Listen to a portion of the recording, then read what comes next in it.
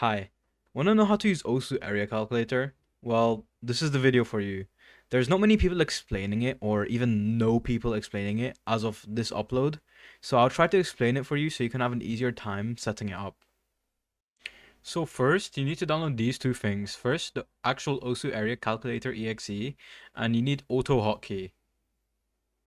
I'll link the GitHub page in the description so you won't have to struggle finding it. Okay, next, after downloading both programs, you open up your tablet driver alongside with the area calculator.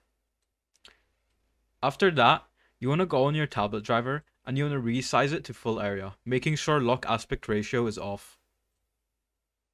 Then, with the values of your area, you want to put that into OSU area calculator.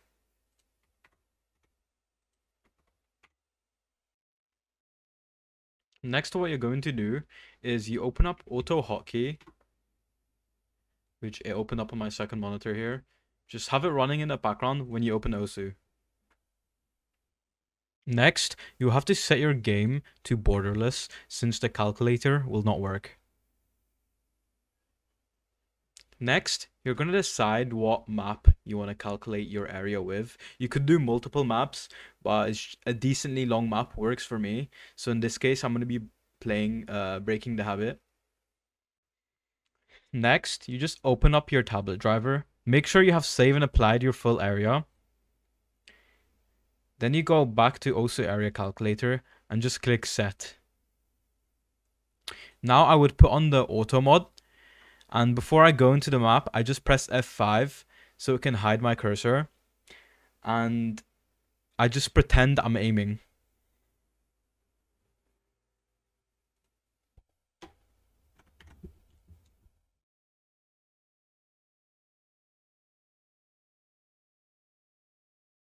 After the map is finished, just press F6. So this is the calculation of my area. And what you would do, you just make a box or rectangle, depending how what yours looks like, of roughly of what it looks like. Like that looks pretty accurate. So next, up here it says put in open tablet driver and everything that's listed here, you just copy into your driver.